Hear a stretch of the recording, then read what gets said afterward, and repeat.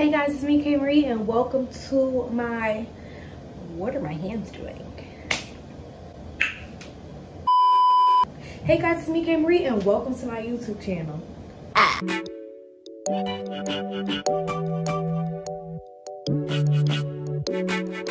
So today, I'm just about to be showing y'all how I turned some old, crusty, dusty ass knotless braids into some rejuvenated, distressed faux locks. Get into it.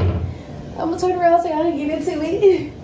get into it. Can y'all see it? So yeah, I've been showing y'all basically how I did these locks and um yeah so it took me a while i'm not gonna lie it took me about like eight hours to achieve this look but that's basically just because i had way more knotless braids in my hair than I had faux locks. So with that being said, I had to take out a lot of knotless braids in order to achieve this look. So on top of me taking down my braids, I also was like reinstalling these locks. So it took me about a while, but we got it done, okay? So that's really the important thing here. Um, I did have about 75 knotless braids in my head to begin with, which was too fucking much.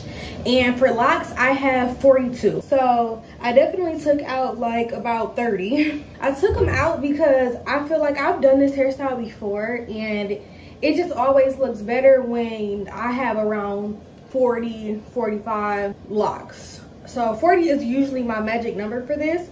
Based on the title of this video, y'all already know that y'all about to see me going from bum to riches. Um, i do want to show y'all real quickly what i use though. So for starters i got this Freetress um crochet hair. And i have i've always used this hair. It's not my first time using it. But it, i will say that in la it's kind of hard to find. Like it's better for me honestly if i just purchase it online because i don't have time to be driving around to a whole bunch of beauty supply stores trying to find it so I got this hair off Amazon. Wait a minute. Ooh. Hey, bitch, you cute. Um, is it gonna focus? It's like not, it's focusing, it's focusing on me. Anyways, I got 12 packs of this hair from Amazon and I only used eight. The hair is gonna look like this when you open it. And I used three of these on each lock. I also used a crochet needle. And then I also used this new stuff. I had never bought this before, but I used this new stuff, which is the instant, oh, I'm such a YouTuber, y'all see that?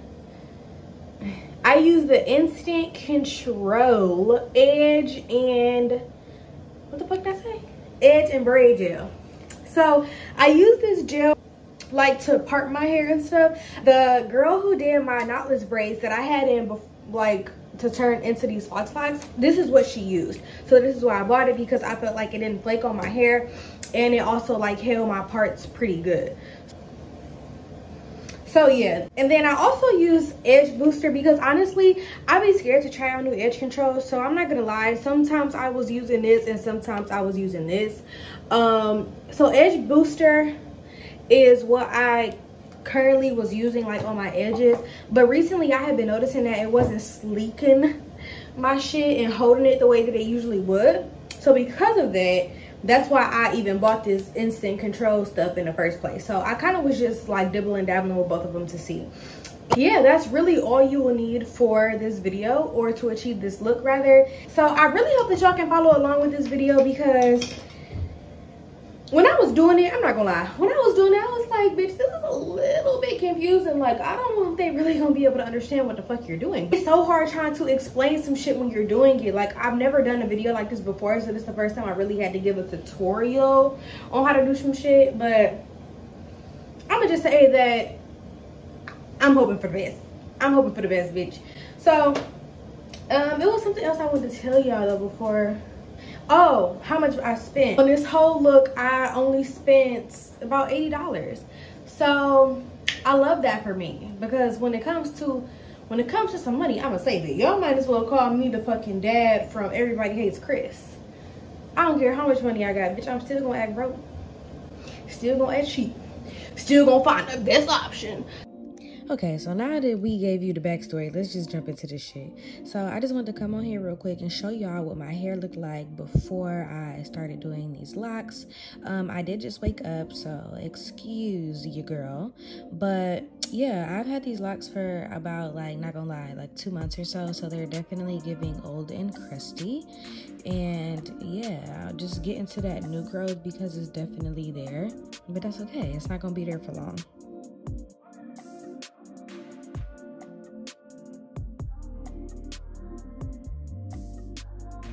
Y'all, I'm not gonna lie, I'm cringing a little bit because I did not know that the back of my hair had grown out like this. But anyways, I went ahead and sectioned my knotless braids off because I'm gonna start from the back and work my way up. And like I already mentioned, I did have way more knotless braids in my head than I wanted to have faux locks. So at this point, before I do any lock installation, I'm just taking down every other braid. So as y'all can see right here, I went ahead and took out a braid and I'm going to basically put my natural hair in a two strand twist and combine it with the braid that is next to it, which y'all are about to see right now. So after you have your natural hair out of the braid, I just went ahead and combed my hair through, put a little of the edge control at my root and did a two strand twist on my hair all the way down. After your two strand twist is completed, it's probably gonna look a little something something like this and you are going to take your two strand and you are going to combine it with the knotless braid that is next to it. So you're going to have two parts one for the knotless braid one for your two strand twist. And we're going to put edge control on the root of both of them and combine them into one lock. Okay i'm gonna show y'all that again because i want y'all to follow along with me. Okay so let's do it again. You got two knotless braids. Boom one of these knotless braids is going to come out because we don't want it in there anymore. Snip, snip. We're going to take this knotless braid and we're going to take it completely down.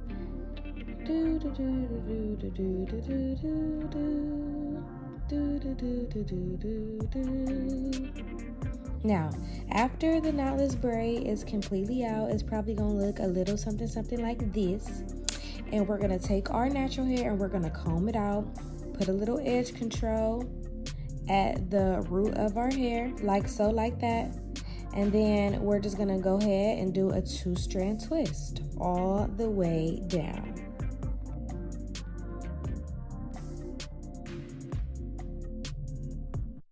So after we got our twist completed, you're gonna take your twist and your knotless braid and we're gonna put a little edge control on the root of both. And then we are going to combine those two parts together. As y'all can see right now, I'm kind of like combing the roots out on both. And then I'm gonna take those two, put those puppies together just like that. Yep, mm, just like that. Y'all think y'all got it?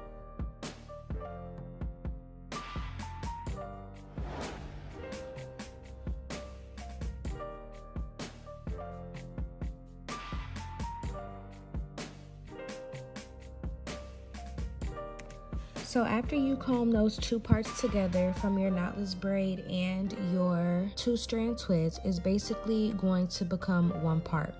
I'm going to take my crochet needle and I'm going to put it through that one part so that we can now start adding the lock here.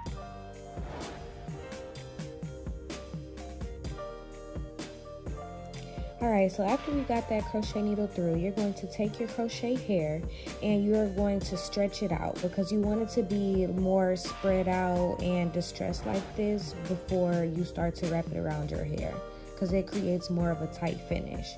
So you're going to stretch it out like that and we're going to put it on the hook of our crochet needle, close that little bad boy up, and we're going to pull it through like this. Yep, just like that. Now, once you pull it all the way through, it's gonna look a little something something like this, okay? We got two halves of the crochet hair with our knotless braid and our two strand twist in the middle. Y'all see that? All right, so the next part is very important. Y'all see how there's two sides of the crochet hair? You're going to take it and pull it so that one side is way shorter than the other side you're going to take the shorter side and in your hand, you're gonna combine the shorter side of the crochet hair, the two strand twist of your natural hair and the knotless braid. And you are going to combine those in one hand and with the longer piece of the crochet hair you're just going to begin to wrap it around the other hair just like how I'm doing right here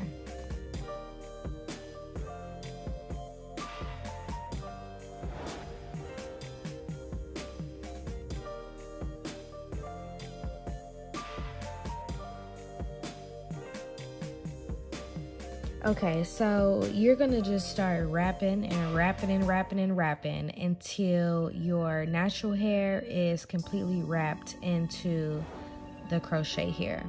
After I get my natural hair covered, then I will start doing the distressed look. So just keep on wrapping, baby. Just keep on wrapping. And if you are not taking down any of your knotless braids, meaning that you're just adding the hair right on top of your braids, then you don't have to wait so long to start the distress look. I was just more comfortable doing it after my natural hair was already locked away.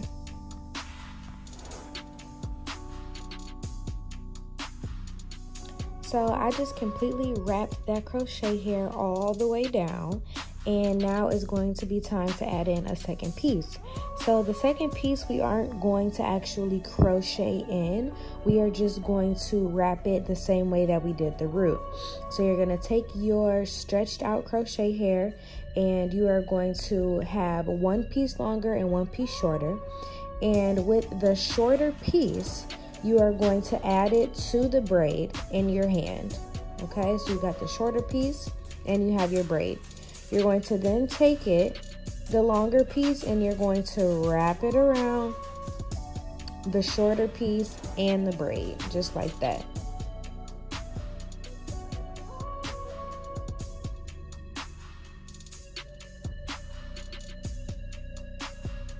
Alright, so I'm about to show y'all how I really get to distress these faux locks, okay? It's really all about the flick of the wrist. So as you can see right here, I have already started using the thumb method.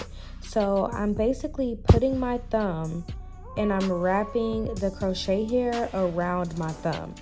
Wrapping the crochet hair around the thumb creates these little loops in the hair and then you just pull your thumb slowly out little by little and it'll create these loops which I love and they give it like a little distress lock. So in order to get these little loops or the distress butterfly locks, whatever the fuck you want to call them, I use this thumb method. And I'm just taking the hair, wrapping it around my thumb, and then I'm slowly just pulling my thumb out and it will create these little loops in the lock.